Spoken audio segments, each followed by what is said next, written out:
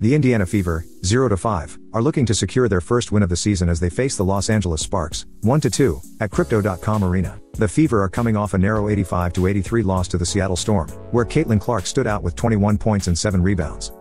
Indiana is shooting at 43.1% from the field and 83.3% from the free throw line, showcasing their ability to score efficiently. They're averaging 76.8 points per game and shooting 31.8% from three point range. The Sparks, on the other hand, secured their first win of the season against the Washington Mystics with a 70-68 victory. Lexie Brown played a key role, scoring 20 points and dishing out 6 assists. Los Angeles is shooting 45.6% from the field and averaging 77.7 points per game. Their defense has been solid, allowing just 83.0 points per game and forcing 14.3 turnovers per game. Key player matchup. Keep an eye on the battle between Caitlin Clark of the Fever and Lexie Brown of the Sparks. Clark's scoring ability and playmaking skills make her a threat on the court, while Brown's scoring and passing have been crucial for the Sparks. The matchup between these two talented guards could play a significant role in determining the outcome of the game. Strengths and strategies. Indiana's strength lies in their ability to score efficiently, especially from the free throw line.